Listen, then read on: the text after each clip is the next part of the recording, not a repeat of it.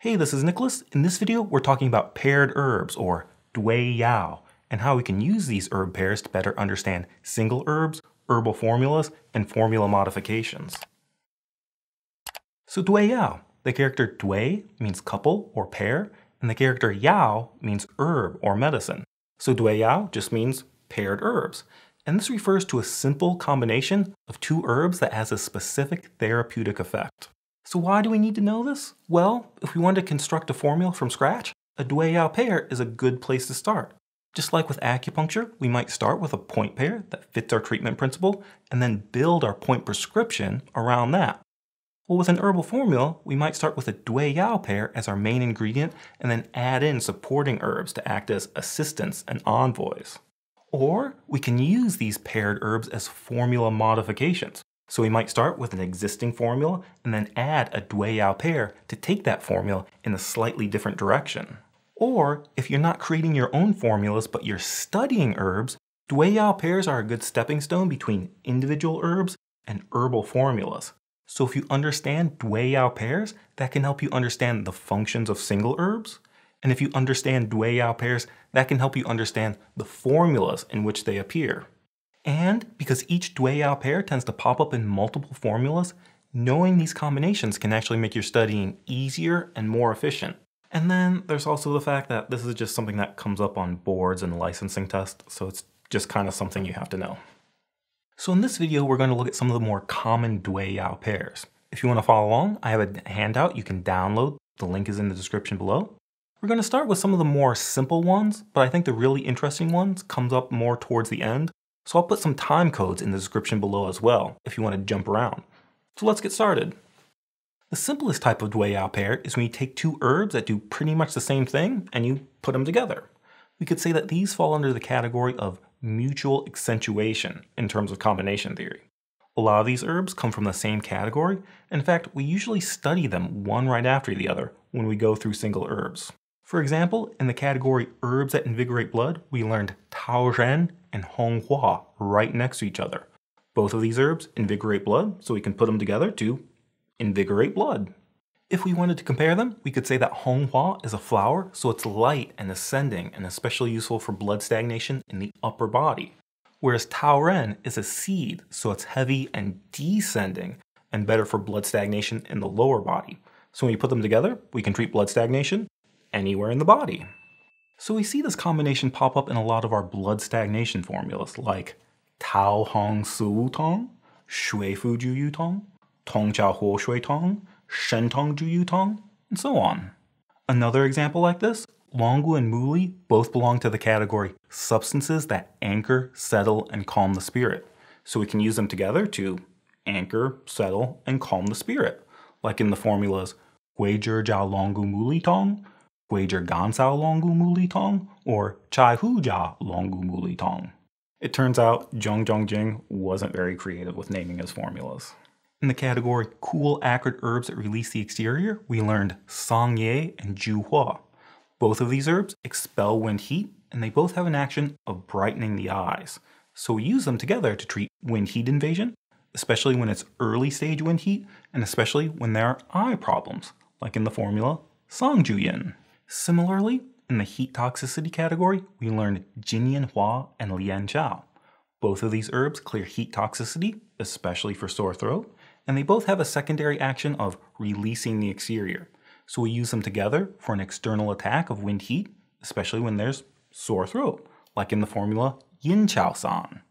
And this combination also shows up in other formulas or formula modifications when there's externally contracted heat or heat toxicity related skin rashes and sores. So if you have an early stage wind heat attack and the main symptoms are cough and eye problems, you can go to Sangye and Juhua. If you have a more severe wind heat attack and the main complaint is sore throat, you can go to Jinyinhua and Lian Qiao. Then just remember that Jinyinhua and Lian Qiao can also be used for other types of heat as well. Back to the category herbs that invigorate blood, we also learned Ezhu and San Leng right next to each other. Both of these herbs invigorate blood, but their specialty is breaking up clumps, breaking up accumulations, and treating abdominal masses. So San Leng is slightly better at treating blood stasis, whereas uh, ezhu is slightly better at breaking up qi stagnation. So we can use them together for qi and blood stagnation, especially when the stagnation is causing accumulations or palpable abdominal masses. And this includes things like enlarged liver or enlarged spleen. And because both of these herbs are so strongly moving and they break up clumps, they're both contraindicated during pregnancy or with heavy menses. And right after that, in the same category, we learned Ruxiang and Mo Yao, frankincense and myrrh. Both of these herbs invigorate blood, but their specialty is promoting flesh regeneration. Again, we could say that Ruxiang acts more on the qi and Mo Yao acts more on the blood, but it's really common to see these two herbs together, especially in external applications treating injury and trauma, because they both regenerate flesh. And then in the category herbs that warm the interior, we learned Fuzi and Ganjiang, aconite and ginger. Both of these herbs warm the interior, and they both have an ability to rescue devastated yang. So we use them together for situations of yang collapse, as in the formula Sini Tang, or we can use them together because they both warm the middle jiao in formulas like Fuzi Li Wan. Da Huang and Mang Xiao are both in the purgative category. Now this combination is a little more interesting because even though Da Huang and Mang Xiao both purge the large intestine, they go about it in slightly different ways. Mang Mangxiao is a salt, so it draws water into the large intestine to soften the hard, dry stool, and then Da Huang promotes movement to push the stool out. So these two herbs really complement each other, and we see this combination come up in a lot of our purgative formulas. And then we have Chai Hu and Sheng Ma. Both of these herbs belong to the category cool, acrid, release the exterior, but this combination isn't about releasing the exterior.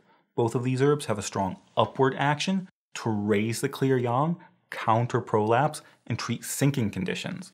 So this is for things like uterine prolapse, rectal prolapse, diarrhea, or even like a bearing down sensation with vaginal discharge.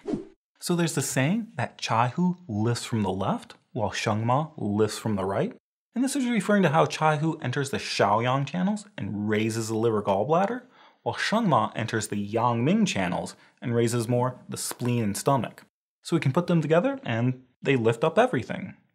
But in order for this to work, we have to combine it with tonifying herbs, because in order to raise the qi, there has to be enough qi there to be raised.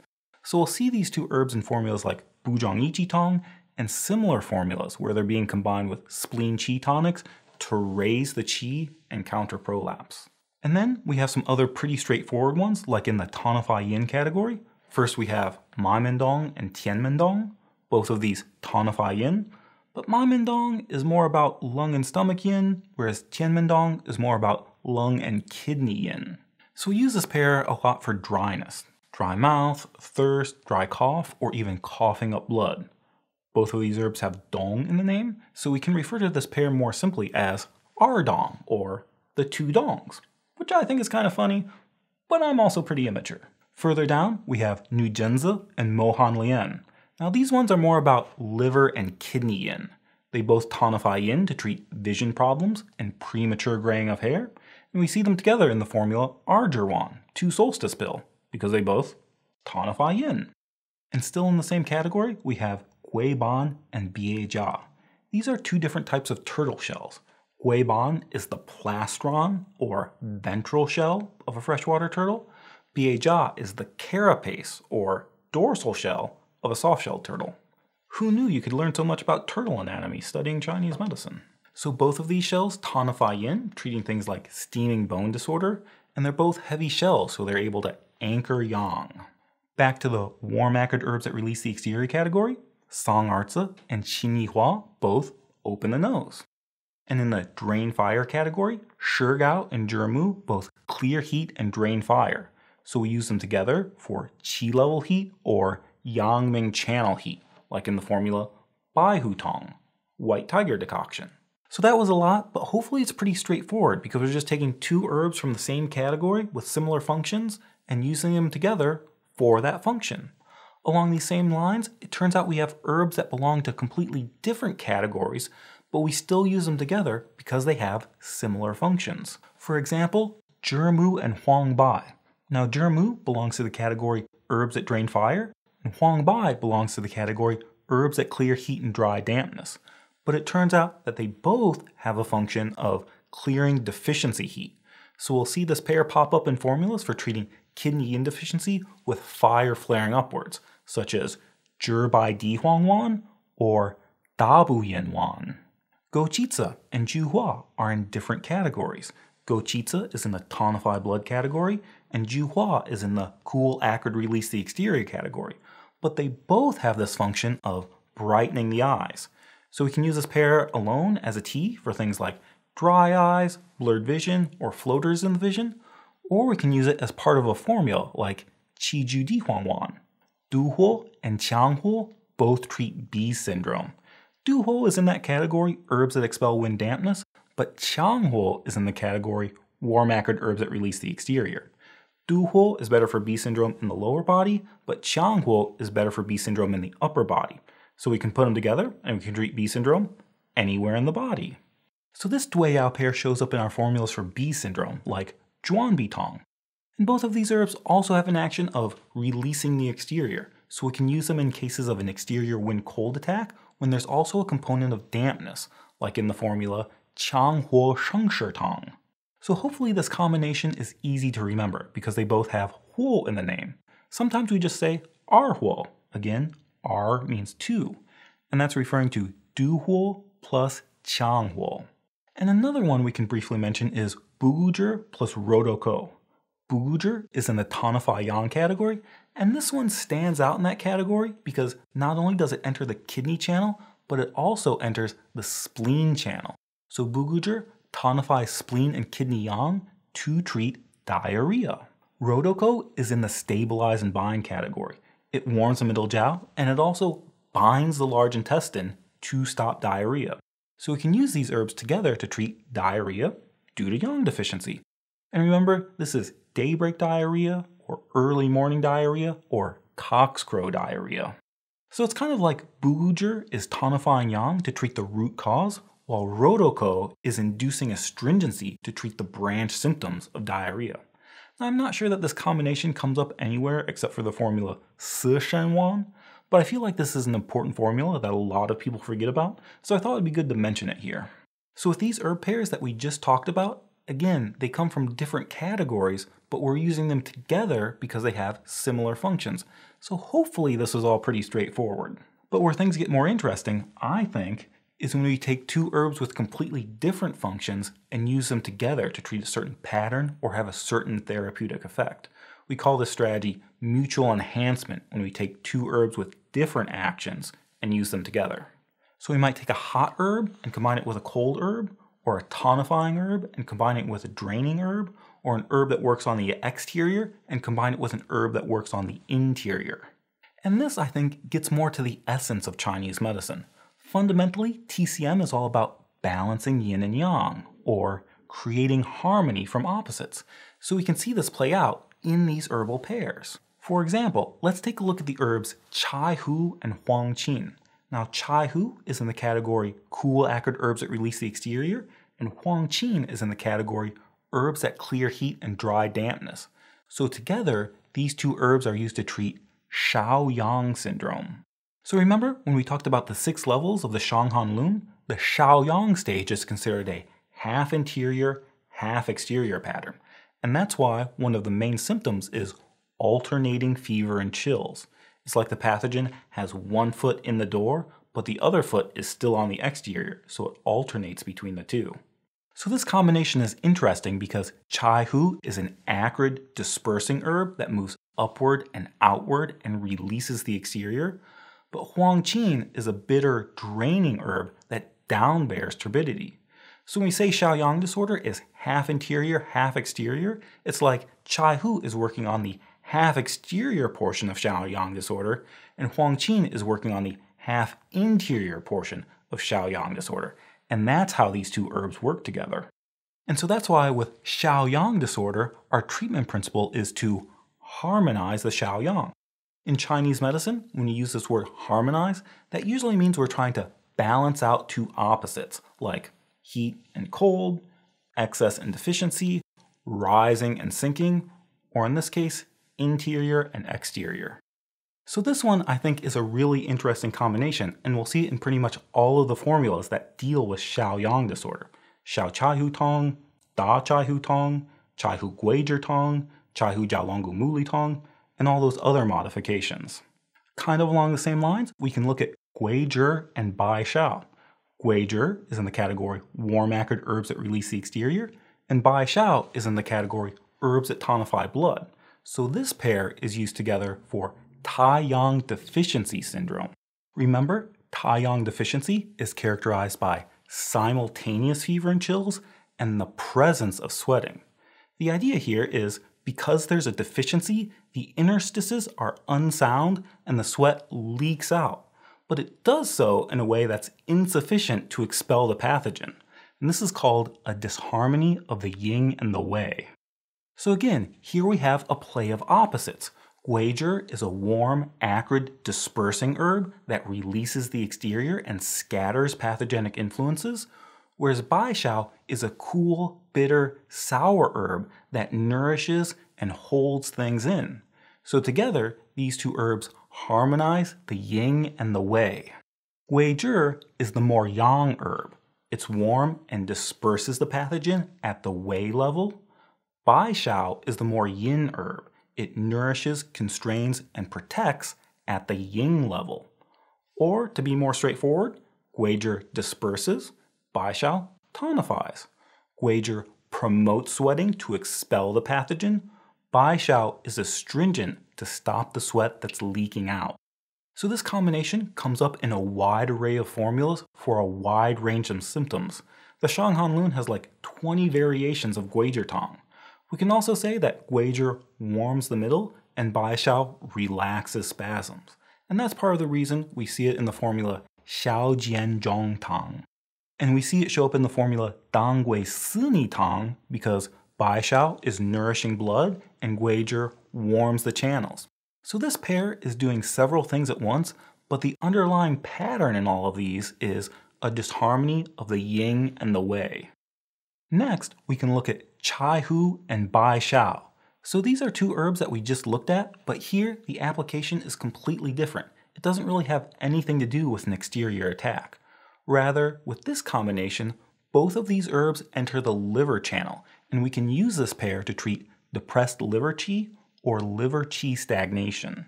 There's a saying in Chinese medicine, the liver is yin in form, but yang in function. So what does this mean? Well, when we say the liver is yin in form, the liver is of course a yin organ. But besides that, the liver has this function of storing blood, which is a very yin thing to do. When we say that the liver is yang in function, we're referring to its function of governing free coursing or creating movement. So storing blood is the yin function and creating movement is the yang function. And it turns out that this pair addresses both of those aspects. Chai Hu is acrid in flavor, so it moves and disperses. Bai Shao is in the category herbs that tonify blood, so it nourishes liver blood, and it also has this action of softening and relaxing the liver. One way to think about it, remember, in terms of the five phases, the liver corresponds to the wood phase. But here, when we say wood, we don't necessarily mean like a stick or a piece of lumber.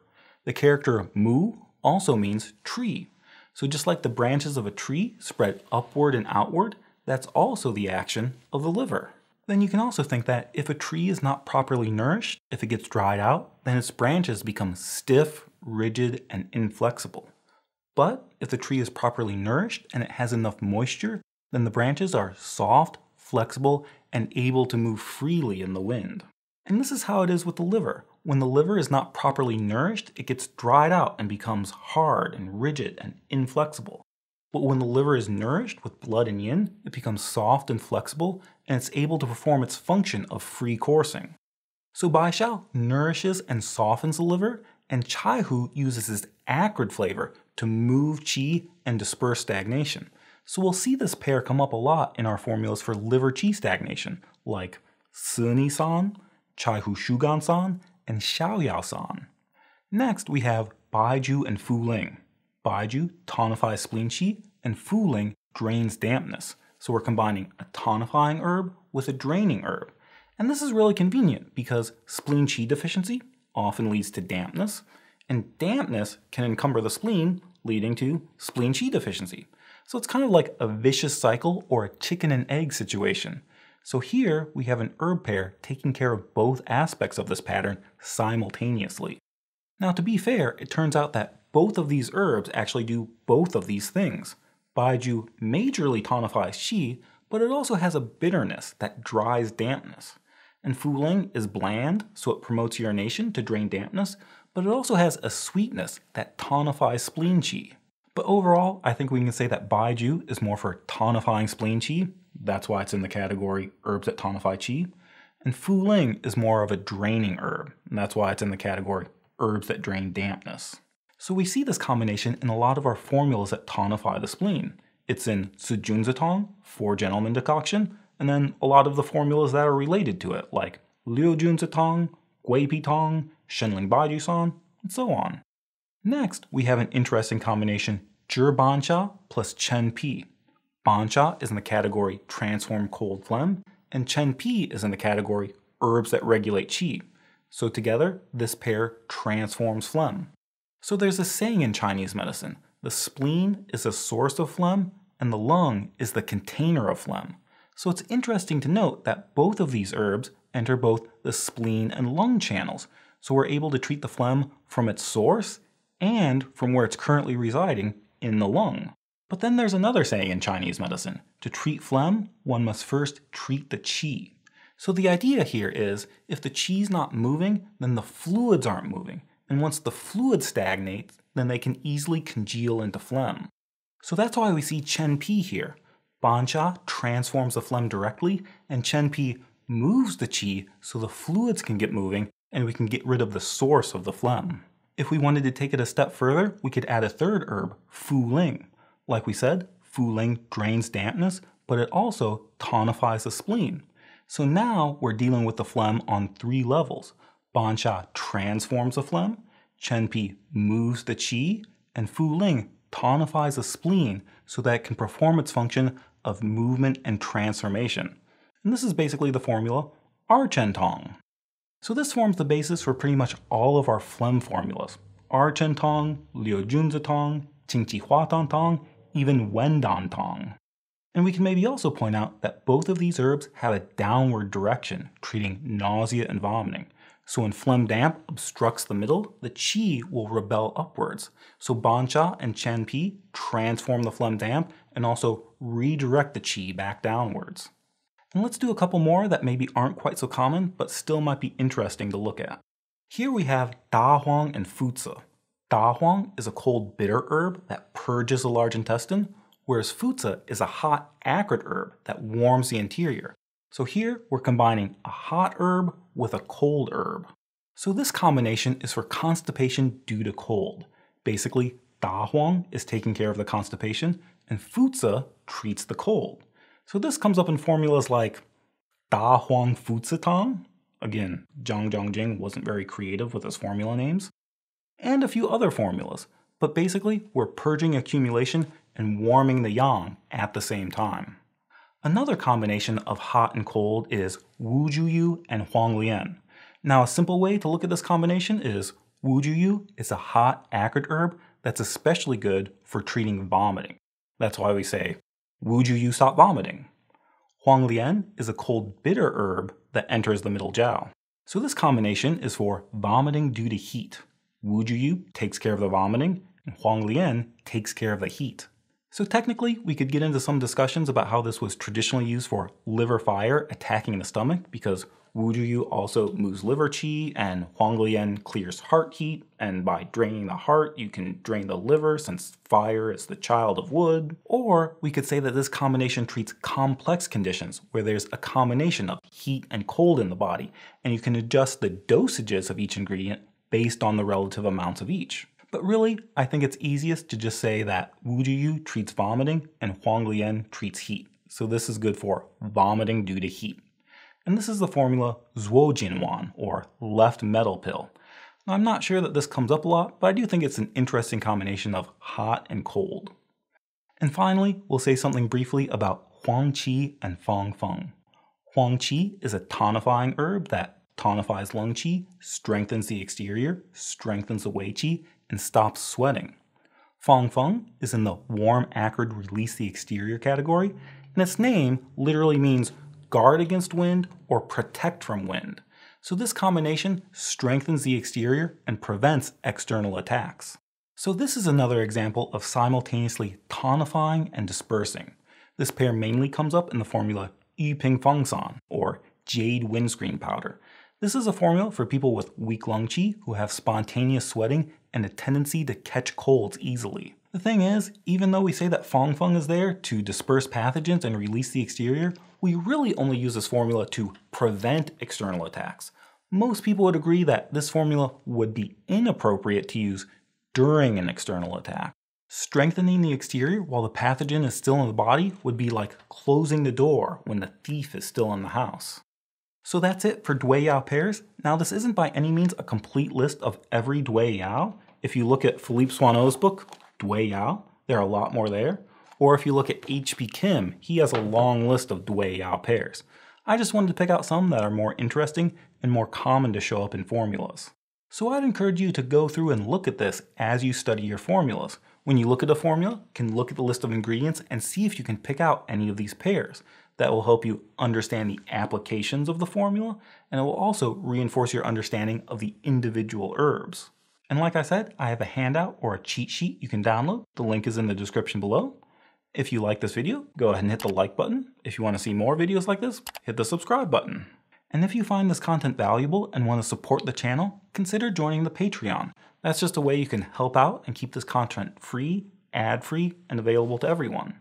But I hope you enjoyed this one because that's all for today. Thanks and see you next time.